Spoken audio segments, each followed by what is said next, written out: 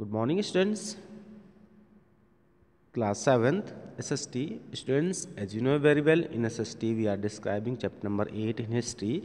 In our previous video, we have discussed about this chapter, popular beliefs and religious debates. In this chapter, today we are going to start from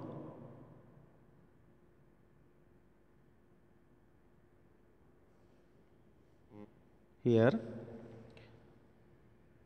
Sravardi Silsila. This was major order of the Sultanate period.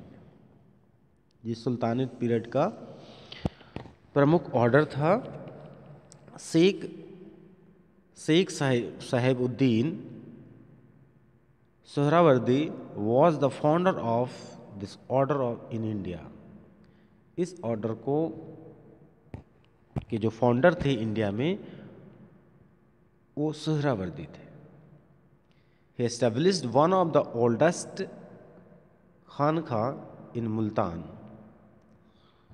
उन्होंने मुल्तान में, जो अब पाकिस्तान में है, सबसे पुराना खानखा establish किया। Shah Alam Bukhari and Sheikh Bahauddin Zakariya were other important संत। और दूसरे जो महत्वपूर्ण संत थे, वो ये थे। अब है आपके Sheikh Shahabuddin Suhrawardi born in eleven fifteen Shahabuddin was an Iranian Sufi and philosopher known for his oriental theosophy in Islamic according to his teachings उनके उपदेशों के अनुसार all creatures are outcomes of the original supreme light of lights. उनका मानना था कि जितने भी प्राणी हैं, वो जो सुप्रीम लाइट, इट मीन्स जो गॉड है, उन्हीं के प्रकाश से प्रकाशित होकर के निकलते हैं। The considers the previous life of every soul in the divine domain before descending to the realm of the body he left more than fifty writings in the Persian and Arabic Bahauddin Zakariya born at Kot Kehror in 1170 Bahauddin, Zakariya was an Sufi on Suhrawardi order he was the disciple of Sheikh Shahabuddin. Sheikh Shahabuddin Suhrawardi के ये शिष्य थे and was also awarded caliphate during his stay in Baghdad His mausoleum Darbar Hazrat Bahauddin Zakaria was built in Multan after his death in 1268. He taught that loss and gain of the wealth of the world make no difference to derivatives. They neither feel sorry at its going nor do they feel happy its coming. किसी के जाने पर वो दुख नहीं व्यक्त करते थे और किसी के आने पर खुशी व्यक्त नहीं करते थे। टीचिंग ऑफ़ सूफी संत, जो सूफी संत थे, इनके उपदेश क्या थे? इनकी शिक्षाएँ क्या थी? इतने हमने ऊपर, जितने सूफी संतों को ऑब्ज़र्व किया, उनके बारे में पढ़ा, समझा, अब उनकी शिक्षाओं पर आते हैं। तो God is one people belong to all caste are children of God God is one ईश्वर एक है.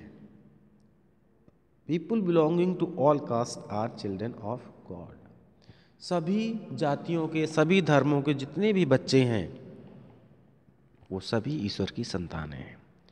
God is in all of us and to achieve God we must love every human being God is in all of us हम सभी में ईश्वर है. और हमें ईश्वर को प्राप्त करना है। We must love every human beings हमें हर मानव जाति से प्रेम रखना चाहिए।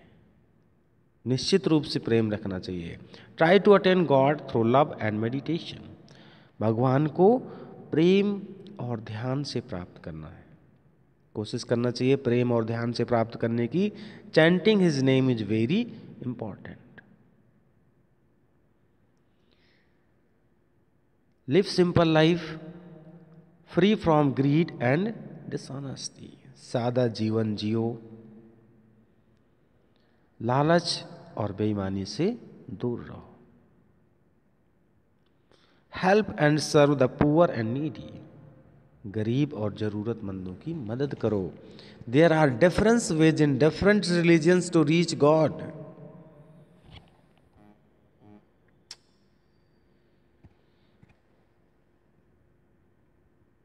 there are different ways in different religions to reach god always followers appear guru for the will show the right path to reach god there are different ways in different religions to reach god अलग अलग धर्मों में अलग अलग रास्ते बताए गए हैं भगवान के पास पहुँचने के लिए ऑलवेज फॉलो अ पीर हमेशा गुरु को अनुसरण करो for he will show the right path to reach God उसकी इच्छा से ही आपको सही मार्ग मिलेगा ईश्वर के पास पहुँचने का। The work for the unity of Hindu and Muslim communities and culture harmony और जो सूफी संत थे, इन्होंने हमेशा प्रयास किया कि हिंदू और मुस्लिम दोनों समुदायों के बीच एकता बनी रहे और खुशियाँ बनी रहे।